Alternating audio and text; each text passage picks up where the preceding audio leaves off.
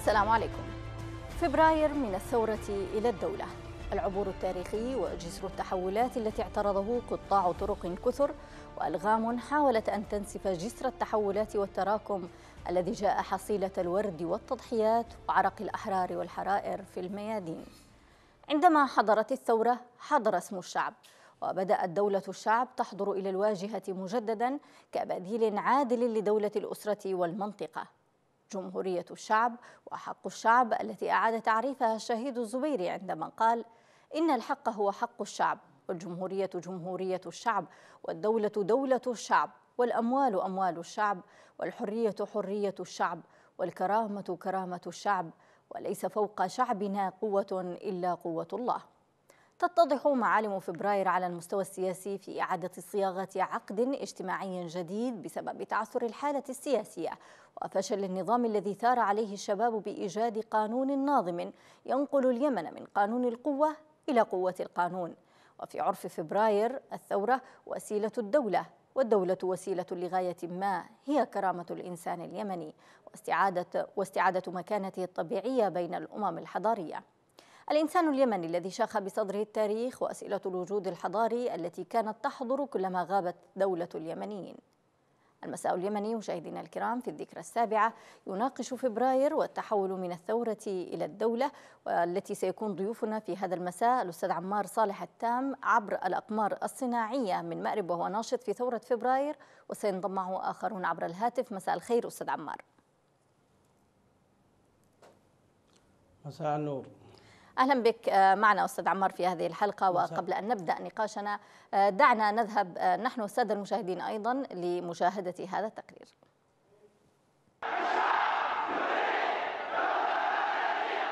الشعب يريد دولة مدنية.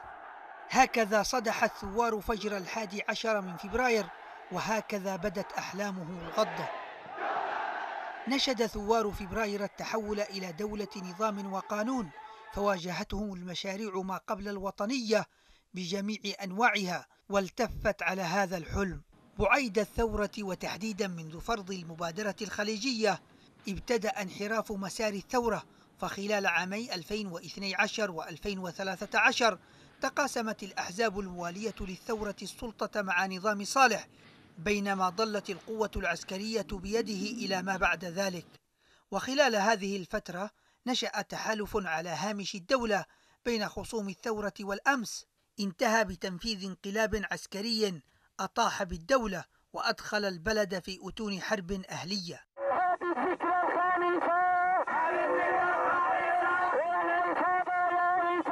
كانت فبراير لحظة تعريف جديد بالمجتمع اليمني للعالم ولنفسه.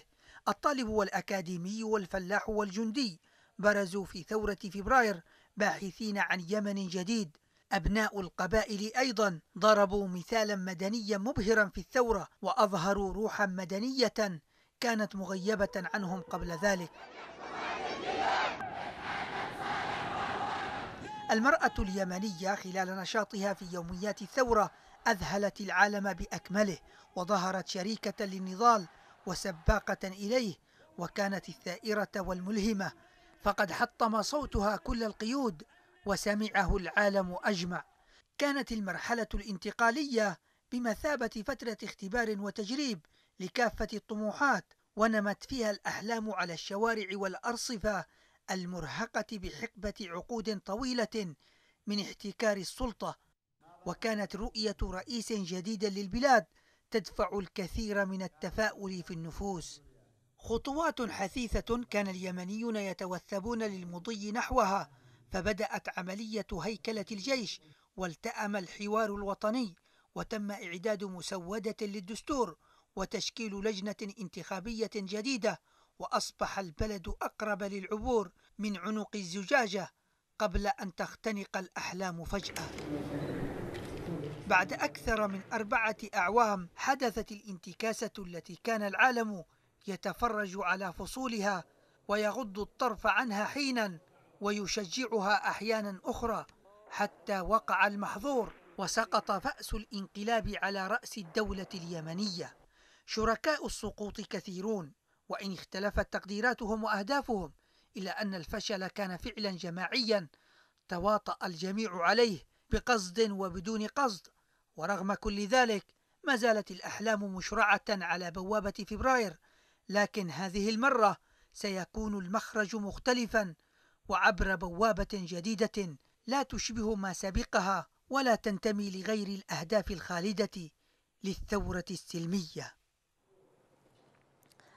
أه، مرحبا بكم مشاهدينا الكرام وأجدد ترحيبي بك أستاذ عمار. ولو بدأنا معك بسؤال مباشر أه، عن فبراير في ذكرها السابعة. أين هي فبراير؟ في مرحلة نعيشها الآن عنوانها ربما إسقاط الانقلاب واستعادة الدولة.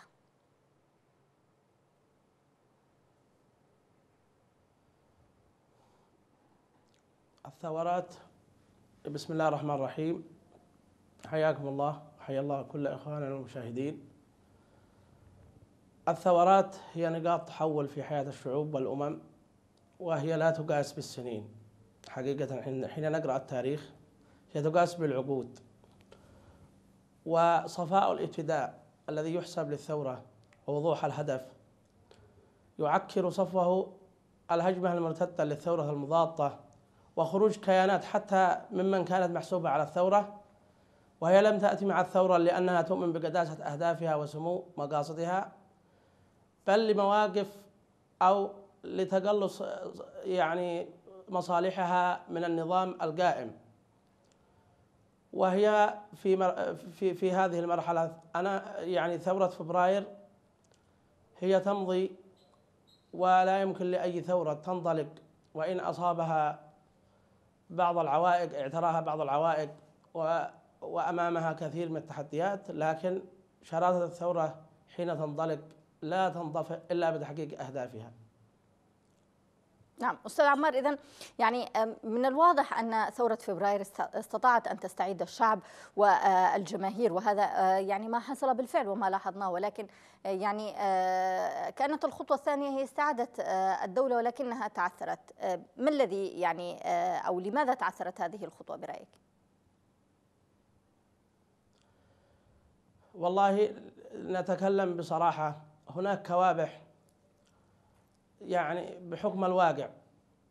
هي هي هي السبب في أنها يعني سبب مباشر أو غير مباشر أسباب مباشرة أو غير مباشرة في أن الفعل الثوري لم يؤدي دوره في استكمال أهدافه. نعم يعني حدثنا عن هذه الأسباب المباشرة السياسية. وغير المباشرة. الحسابات السياسية عقلية التسوية السياسية في اليمن أنا أستعرض خلال مئة عام من تاريخ اليمن منذ خروج الأتراك وخروج الإنجليز حوالي مئة عام حصل فيها 22 حرب وتسعة انقلابات وست ثورات يعني في الشمال وفي الجنوب. بمعدل أن خلال كل سنتين وعشرة أشهر إما حرب أو ثورة أو انقلاب. وهو وهو الرقم القياسي في العالم على أي شعب في العالم. لأن الحلول الترقيعية دائما لا تنتج السلام. لتدم لتطول الحرب قليلا حتى ننعم بالسلام طويلا. لم يتح لأحلام اليمنيين أن تتحقق نتيجة لهذه الصراعات. وهي يعني وهي وهي بسبب أن الرؤية العميقة التي تشمل مشروع نهضوي ينشده الناس جميعا. عندما نتكلم عن العبور إلى الدولة الدولة مطلب عند كل اليمنيين. نعم. وخاصة في هذه المرحلة الراهنة التي نحن فيها كان الشعب اليمني قبل الأحداث بان الثورة 62 26 سبتمبر كان لا لا لا يعتمد على الدولة في كثير من أموره. أما اليوم فقد أصبحت الدولة مطلبا رئيسيا لكل اليمنيين. وأصبح اليمني اليوم يطالب ببنية تحتية ويطالب بنهضة وبتنمية. وهذه بداية هل, هل هذا يعني المختلف أستاذ عمار؟ بداية يعني كبيرة جدا. نعم هل يعني هل الوعي الذي تتحدث عنه الآن في الشعب اليمني هو المختلف؟ يعني أن تحدثني عن 100 عام آه، مرت فيها الكثير من الحروب والانقلابات وأيضا آه، الثورات. آه، يعني ما هو الجديد لنقل الآن؟ حتى يعني لا يتكرر السيناريو ذاته ولا نظل رقم من يعني ضمن حصيلة الأرقام المتتالية. المختلف اليوم أن الدولة أصبحت ضرورة بحكم الوعي أو بحكم الحاجة. خاصة كان اليمنيون في السابق ينزحون إلى الخارج عندما تزداد المشاكل في خلال المئة العام السابقة. نعم. اليوم ظروف اليمنيين في المهجر في كافة الجاليات في العالم لم تعد كما كانت من قبل فالأمور تضيق عليهم هنا وهناك. اليوم مطلب الدولة هو مطلب يفرضه الواقع. ضرورة واقعية. اليمنيون هذا يعني أمام ثلاث مخاطر سيواجهونها وستخلق ثلاث تحديات. هذه المخاطر التي تواجه اليمنيون اليوم ونحن حين نتحدث عن فبراير نحن لسنا فئة منعزلة عن الشعب. نحن نمثل روح في هذا الشعب ونحن نحمل أهداف بحجم هذا الشعب وامتداد لأمجاده وتاريخه ومواقفه. وننشد المستقبل الذي ينشده كل يمني. فإن اليمنيين اليوم أمام ثلاث مخاطر ستخلق ثلاث تحديات. هذه المخاطر تتمثل في الاستعمار سواء كان وصاية أو استبدادا وكلها أدوات من أدوات الاستعمار. وفي التخلف الذي ينتج الفقر والجهل والمرض وفي التمزق والتفتيت عبر المشاريع الفئوية والمذهبية الصغيرة التي لن تختم حتى حاملها والمنادين بها. نعم. أمام هذه الثلاث المخاطر تمثل أمامنا ثلاثة تحديات أو تخلق ثلاث تحديات. التحدي الأول وهو في وجه الاستعمار الحرية والتحرر. نرفض كيمنيين جميعا أن نعيش بدون الحرية. الحرية هي جزء من تركيبتنا النفسية والاجتماعية. لا يمكن لنا أن نعيش بدونها أبدا. نعم. وسواء في وجه الوصاية أو في وجه الاستبداد.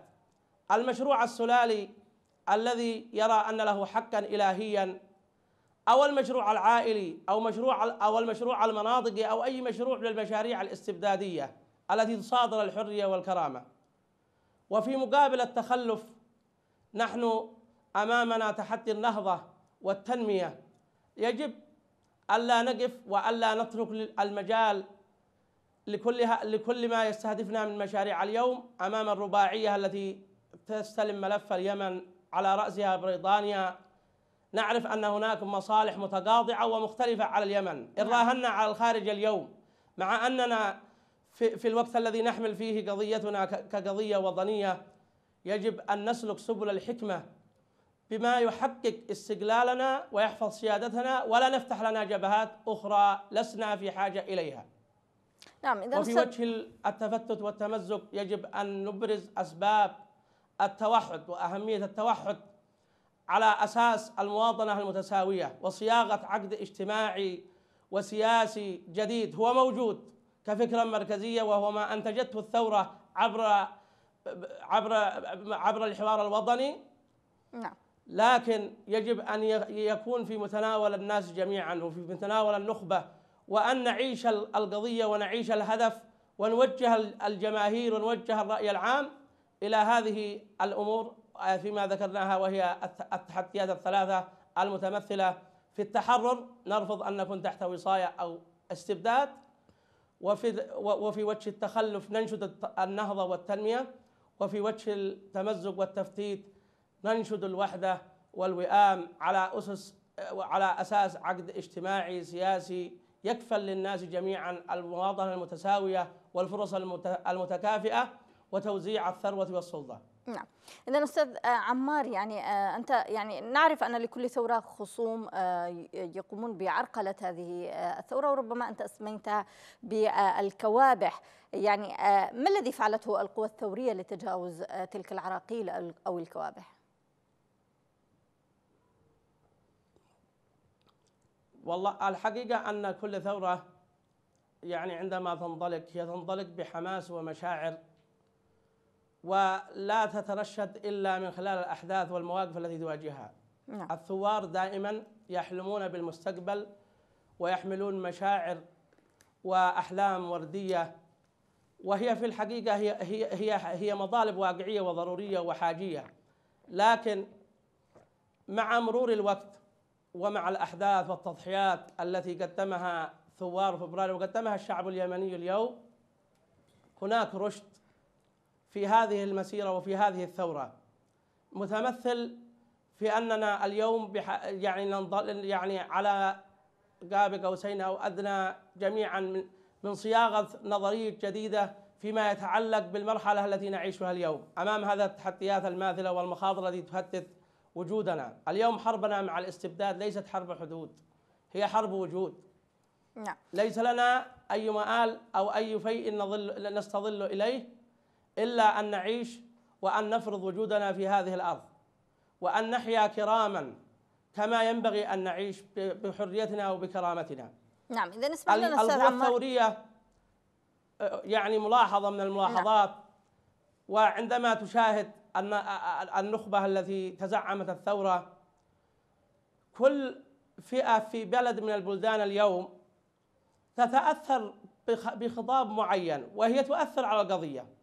فمن في تركيا لديهم يعني أمور فيما يتعلق بالخطاب غير الإخوة الذي في مصر ومن في دول الخليج غير الإخوة الذي في قطر خصوصا وفي كثير من المناطق.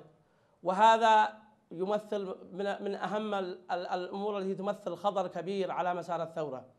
يجب أن نعقد مؤتمرات ومنتديات وملتقيات ونعيد صياغة ميثاق شرف إعلامي صحفي وطني يكون الخطاب فيه موجه نلتزم حدود القضية. نعم القضية الفلسطينيه أستاذ عمر يعني, هذه النقطة نعم. القضايا المعاصرة اليوم يعني آه، آه، ربما نحن هنا يعني كوننا آه، في منبر إعلامي نؤكد أننا نقف فقط مع اليمن واليمنيين لا نقف مع أي أحد ولا مع أي طرف منذ أن نشأت هذه القناة. أود أن نستضيف معنا أيضا عبر الهاتف إن تكرمت الأستاذ شفيع العبد هو وكيل وزارة الرياضة والشباب والرياضة من القاهرة عبر الهاتف. مساء الخير أستاذ شفيع. مساء النور آه، أختي آسيا وعليك وعلى مشاهدي قناة بلقيس. أهلا بك، أستاذ شفيع كان هدف فبراير إنجاز دولة آه، لكل اليمنيين، برأيك أين وصل هذا الهدف بناء على واقع ما وصلت إليه اللحظة اليمنية في ذكرى فبراير السابعة؟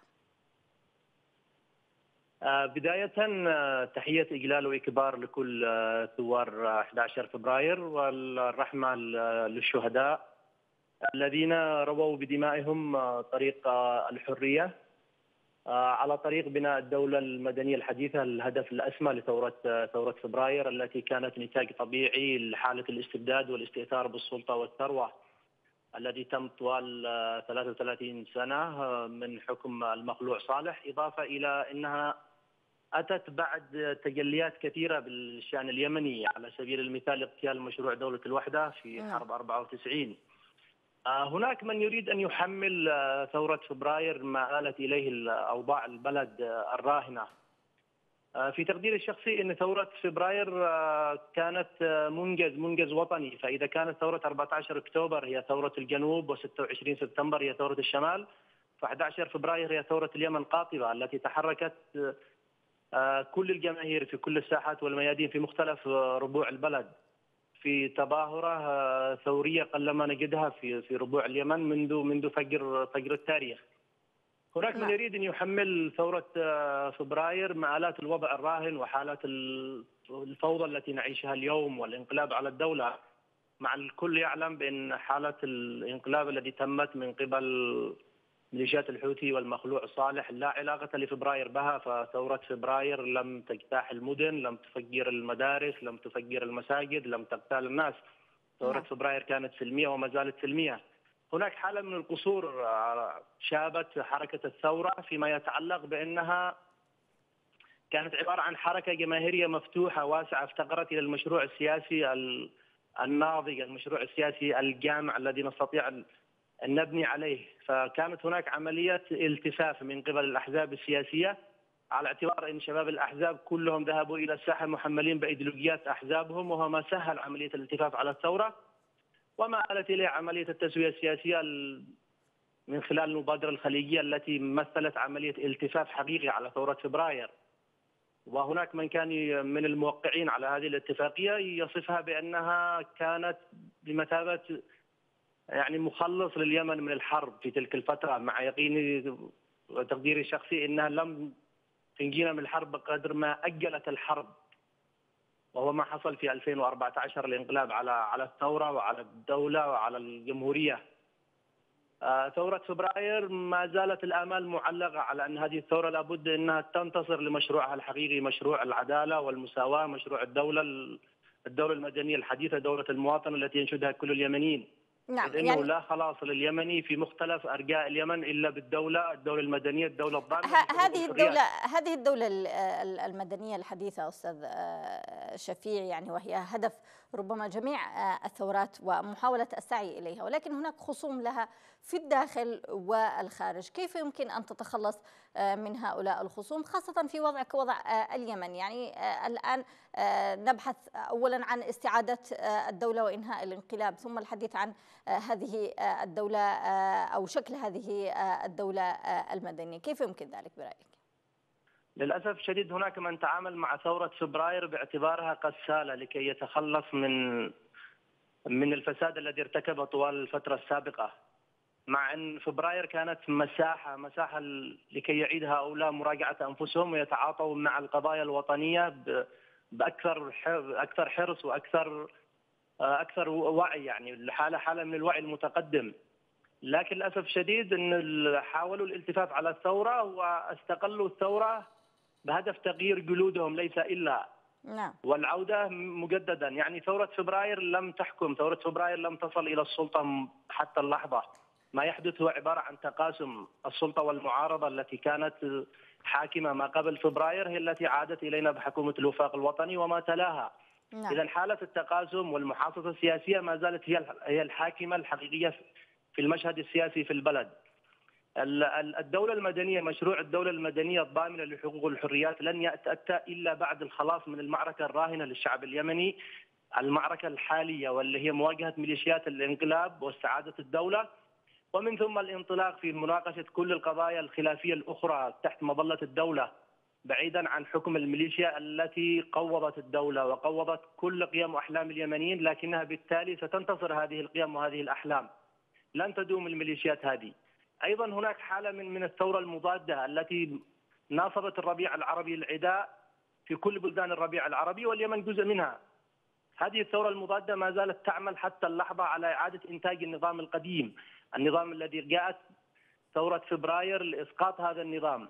للأسف الشديد إن ثورة فبراير لم تجد لنا لم لم يوجد لدينا نظام سابق، كل ما لدينا هو رئيس سابق، والنظام السابق ما زال يعيد نفسه اليوم، ما زال يحكم في مختلف مفاصل الدولة.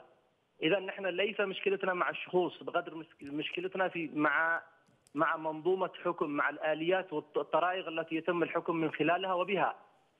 لذا لابد من الاستمرار حاليا في مناهضة ميليشيات الحوثي وصالح وإعادة واستعادة الدولة هناك من يريد أن يصور أن استعادة الدولة لن يأتي إلا من خلال الأدوات السابقة، الأدوات التي أفسدت وقتلت اليمنيين وقتلت شباب فبراير ومن قبلهم قتلت الحراك الشباب الحراك الجنوبي. هذه الأدوات لن تكون مخلصة بالمطلق للشعب اليمني، الخلاص لن يتأتى إلا من خلال القوى الوطنية الحية التي حددت موقف موقف مبكر من ميليشيات الحوثي وصالح. نعم. ووقفت ضد هذا المشروع الإنقلابي الذي اجهض أجهض كل ما له علاقة بالمستقبل كل ما له علاقة بالحلم اليمني ولكن الجماهير هذه التواقة إلى الحرية وإلى إلى الخلاص لابد أنها هي التي تحمل مشروع الدولة المدنية وهي التي ستخرج اليمنيين إلى آفاق أكثر من الحرية والاستقرار ودولة المواطنة ودولة المساواة الأدوات القديمة لن تقدم لنا شيئا بالمطلق كل أدوات الفساد القديم والجديد مع الأدوات الميليشياوية وأدوات الأجنبي التي ارتهنت نعم. للأجنبي اليوم وتحاول إن تقوض كل الحركات الثورية في البلد لمصلحة هذا المشروع والانبطاح في أحضان الأجنبي لن تأخذنا إلى مصاف الدول التي تنعم بالحرية وتنعم بالاستقرار وهذه يتنافى بالمطلق مع قيام ثورة 11 فبراير. نعم إذا شكرا جزيلا لك أستاذ شفيع العبد وكيل وزارة آه، الشباب والرياضة. كنت معنا عبر الهاتف من القاهرة. عودة إليك أستاذ آه، عمار. أستاذ عمار يعني آه، ربما تحدث الأستاذ شفيع في فكرته الأخيرة عن الموضوع ذاته الذي كنت تتحدث عنه وهو يعني على الجميع ألا يرتهن لأي طرف خارجي والعودة إلى يعني الحديث عن الوطن لأجل الوطن. ولكن أستاذ عمار يعني تم يعني للأسف الشديد انقلاب على الدولة التي كانت موجودة والتي عمليا لم تحكم فبراير فيها فعليا يعني لم تصل ثورة فبراير إلى الحكم أبدا. هناك دعم لهذا الانقلاب من الداخل وأيضا دعم إقليمي وخارجي أيضا لهذا الانقلاب هل يمكن يعني الخروج من إطار كل هذه المؤامرات التي تدور حول الدولة المدنية التي كان ينشدها ثوار فبراير؟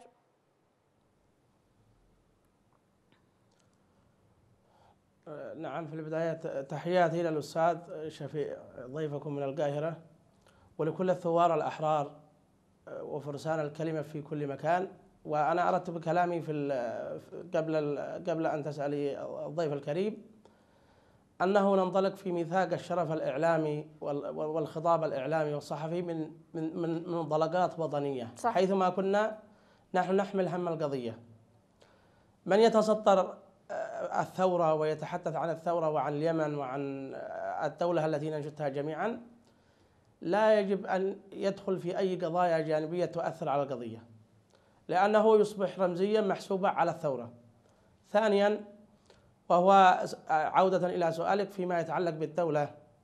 نعم نحن نواجه اليوم الدولة العميقة وأسوأ ما يمثلها اليوم هي السلالة والكيان الجهوي الذي ارتبطت شبكة مصالحه وهو يشكل خطر للحاضر وللمستقبل. ونحن نتكلم اليوم إذا جاز لنا مجازا أننا نواجه عفاش الإجرام. في الجبهات ففينا يعيش عفاش الثقافة وقد ينتج عفاش السلوك. يعني على أساس أنه أصبح رمزيا لمرحلة امتدت أربع عقود. يعني هو حكم اليمن لم يحكمها 33 سنة حكمها 40 سنة بالسنين الأخيرة بعد الثورة. ثم أن قضيتنا ليست مع الشخص. عندما قتل علي عبد الله الصالح لم تتأثر الجبهات ولم يتأثر الموقف الذي كنا نراهن على أنه سيتغير. لأن هناك دولة عميقة بما فيها يمثلها بعض الكيانات حتى في الجنوب. اليوم المجلس الانتقالي لا يمثل أبناء الجنوب. إنه امتداد لهذه الدولة العميقة التي تصادر أحلام اليمنيين عموما وأحلام وحملت القضية الجنوبية القضية العادلة المطلبية الحقوقية التي اعترفت بها فبراير.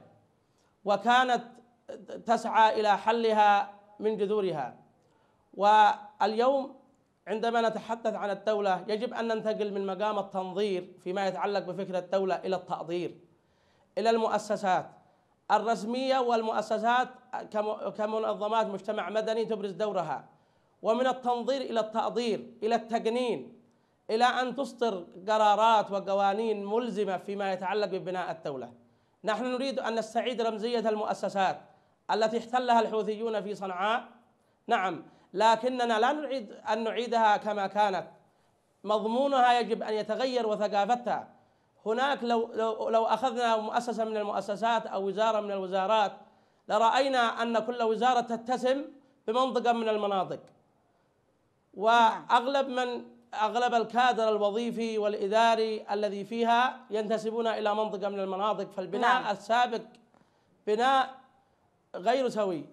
فنحن بحاجة اليوم أن نستعيد رمزية الدولة فعلا التي احتلها احتلتها الميليشيات لكن نريد ثقافة جديدة تنتجها ثورتنا. شكرا. وهو أن ننتقل من التنظير إلى نعم. إلى المؤسسات إلى مراكز الأبحاث صحيح. هذا هذا ما يجب هذا هذا يعني ما يجب عمله. نتصارع مع السلوك.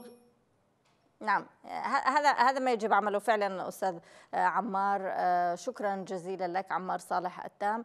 الناشط في ثورة فبراير كنت معنا عبر الأقمار الاصطناعية من مأرب. ونذهب مشاهدينا الكرام لفاصل قصير ثم نعود لاستكمال حلقتنا.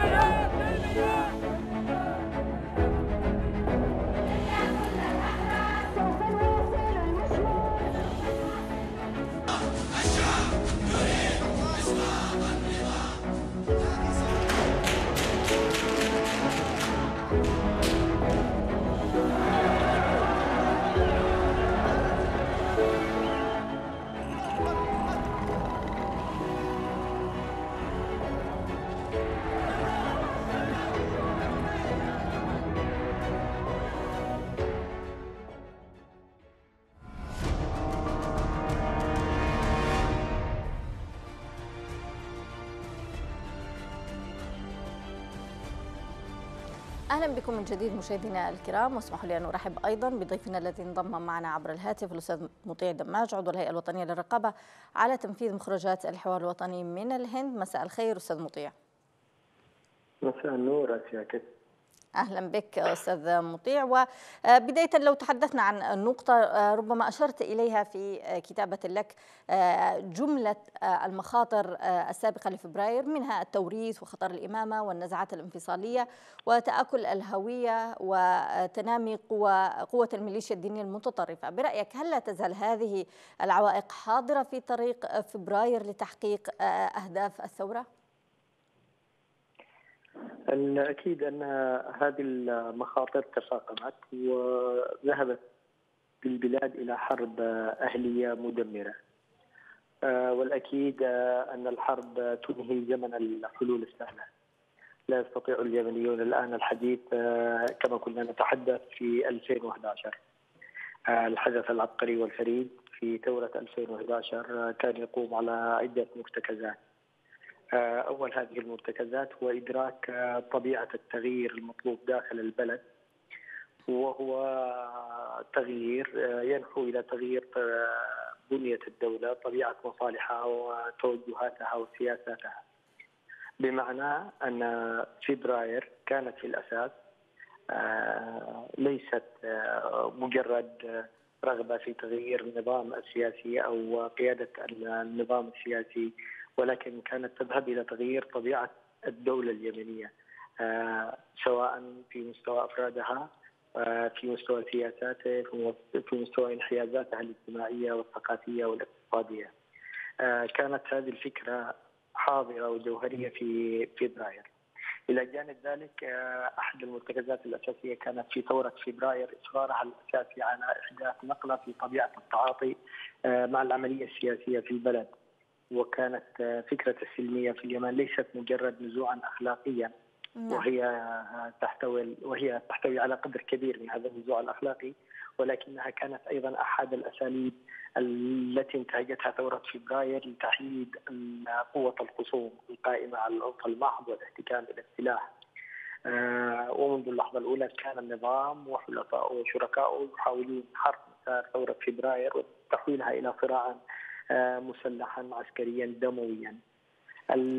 الأكيد اليوم ونحن نتحدث عن ثورة فبراير في ذكراها أن المخاطر التي كانت سابقة لفبراير أصبحت تخوض معاركها بوجوهها الحقيقية بعيدا عن التمويه التي كانت تقتضيها الفترات السابقة. والأكيد أن الحرب الأهلية التي تطحن البلاد وتؤثر على مستقبله ليست مجرد حدثا عابرا نستطيع تجاوزه بسهولة، لكن على ضوء نتائج هذه الحرب نستطيع أن نتحدث هل انتصرت ثورة فبراير؟ هل انتصر أفق التحرير والتغيير التي طرحته مجاميع وجماهير وحركة وحركات الفكرة التي اقترحتها ثورة فبراير؟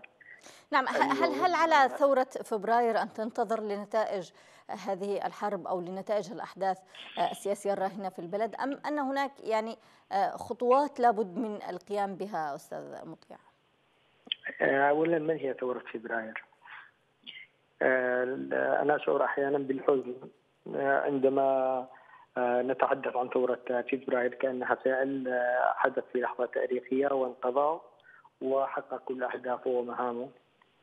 بينما في الأساس إحدى المطالب الجوهرية اليوم هي الانتصار لقضية الشعب سواء في استعادة الدولة بمضامين طرحتها ثورة فبراير بشكل واضح وصريح. استعادة السلم الأهلي إعادة بناء المجتمع اليمني على أسس وطنية. إعادة بناء القانون اليمني على أسس العدالة والمساواة. هذه هي فكرة فبراير. لا يمكن اليوم الحديث عن فبراير كحدث انقضى بشكل كامل ولا يمكن الحديث عليه كثورة إنجزت كل مهامها وانتصاراتها اللحظة العبقرية لخروج الشعب اليمني ما تزال خالدة في وجدان الناس لكن دون أن تنتصر فكرة الدولة اليمنية الحديثة. الدولة الديمقراطية دولة العدالة والوظائف والمهام الاجتماعية الواضحة دولة الانحياز للناس دولة المساواة. لا يمكن الحديث عن ثورة لا يمكن الحديث عن أي شيء بمعزل عن الوجود الحقيقي لليمن الأكيد والثابت في حياة الناس هي وضع اليمن اليوم. ما الذي تعيش اليمن؟ لا يمكن أن نصبح مفصولين ومعزولين عن شعبنا وعن وطننا وعن أهلنا. بلدنا تقتل أهلنا ينزفون في كل مكان السجناء والمعتقلين والضحايا في كل شبر الأبطال والمناضلين في الخنادق المختلفة. التفكير في فبراير هو التفكير في المشكلة اليمنية في كل لحظة من أجل إنجاز أهم وأهداف ثورة فبراير نعم. اللي اتفقنا في يومها على تسميتها الدولة الوطنية المدنية الحديثة. هذه المهمة ما زالت مطروحة. وقبل أن تنجز هذه المهمة لا يمكن الحديث عن انتصار كامل وعن عبقرية كاملة. آه هناك قضية أيضا. لا أعتقد أنه من الممكن. آه ألا ينتابنا بعض الشك الكثير من الشك في الحقيقة. ولا وجع الضمير القتلة وحدهم في أزمنة الحرب الأهلية ينامون مطمئنين وخواطرهم مرتاحة. كل يمني آه، شارك في الشأن العام. كل يمني اليوم صار ضمن هذا الشأن العام عليه أن يشعر بالقلق وعليه أن يراجع نفسه وعليه أن يشتغل من أجل إنقاذ بلده من الكارثة التي أحاطت به. علينا أن نعمل على تجاوز الاستبداد علينا أن نستعيد دولة بأفق فبراير. لما دائما عندما نتحدث عن ثورة فبراير نتحدث عن الأفق التي فتحته هذه الثورة. نعم. نتحدث عن طبيعة عن طبيعة المشروع السياسي والاجتماعي والثقافي اللي أتاحته هذه الدولة. نعم. هناك من يتحدث يوم الثورة. نعم أستاذ آه، مطيع. يعني هناك من آه، يعني آه، لا يحمل ثورة فبراير ما حدث ولكن يحمل الثوار يعني المرحلة التي صمتوا فيها وهي المرحلة الانتقالية التي كان يفترض أن يكون لهم دور أكبر. يعني خاصة حينما تم استنساخ نظام صالح بصوره السيئة نظام الفساد المحسوبية يعني تدخل الأبناء في مهام آبائهم. يعني كما حدث مع آه، أحمد وصالح سابقا. هناك الكثير من النقاط السلبية التي مرت أمام أعين الثوار التي ساروا عليها ولكنهم لم يتحدثوا عنها. يا سيد دعينا نفكر بشكل مختلف. نعم. آه، آسيا وجزء كبير من العاملين في قناة بلقيس كانوا معنا كنا رفاقا داخل ساحة التغيير نعم. آه، اليوم الحديث هل تتحمل ثورة فبراير ما حدث داخل البلاد؟ سؤال آه، فاسد في تقديري. السؤال الاستراتيجي آه، هل كانت تحتاج البلد إلى ثورة؟ أنا في تقديري أن الإشكالية لم تكن في ثورة فبراير، الإشكالية أن اليمن كانت تحتاج إلى أكثر من ثورة. نعم. الشيء الآخر هل يتحمل ثوار ثورة فبراير ما حدث هناك؟ مسارات وقادت البلاد إلى ما وصلت إليه. نحن بعض هذه المسارات. ثورة فبراير كانت حدثا فريدا خالدا تصدى لمهمة توريث البلد لتصدى لعملية إفساد ممنهجة تصدى لاستبداد قبض على روح البلد. تصدى لمعركة كانت تدور بين قوى متخلفة استبدادية طائفية مذهبية جهوية. الخيار الوحيد الذي تشكل اليوم في المقاومة وفي إمكانية هزيمة هذه المشاريع خرج من رحم فبراير. خرج من الشعب التي أعادته ثورة فبراير إلى المشهد السياسي بعدما مارسنا السياسة لمدة 10 أو 20 سنة وكأنها شاء بين نقاب سياسية آه، تسلم بمرجعية صالح وبحقيته في حكم البلاد إلى الأبد. ثورة فبراير عادت الشعب للمشهد السياسي وهذا كان أحد إنجازاتها الكبيرة. ثورة فبراير أعادت الفرد القائم داخل البلاد إلى أسس وطنية. في يوم فبراير انقسمت البلاد على أساس وطني.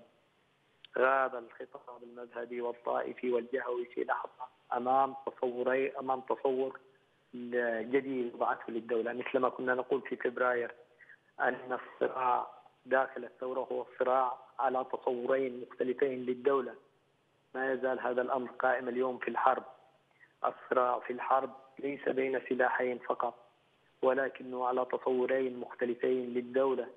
على تصورين مختلفين لمنظومة الحقوق والحريات على تصورين مختلفين لمكانة الإنسان اليمني والمواطن اليمني على تصورين مختلفين لحقنا في الحياة. هذا الشيء أنجز في ثوره فبراير وهو إنجاز عظيم.